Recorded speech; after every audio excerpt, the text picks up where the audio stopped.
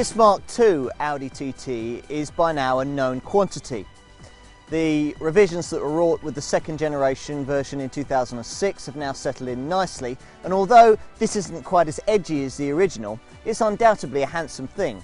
Now I've got a TT TDI model here, but if you go for the flagship TTS model, then it takes handsome and adds some battle dress. So you get the trendy uh, LED daytime running strips, uh, the lights that in the headlamp pod, you get uh, 18 inch alloy wheels, you get side skirts, you, and you get two sets of twin tailpipes jutting out from a rear diffuser at the back. The interior of this uh, TT also has a lot to live up to.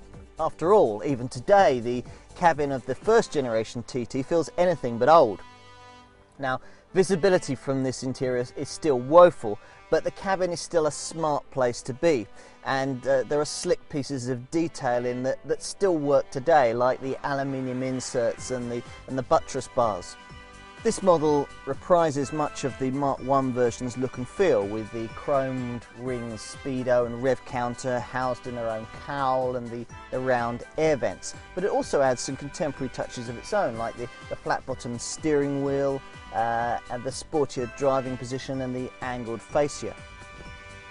There's more rear knee room too, but as you can see, rear headroom could generously be described as, as woeful.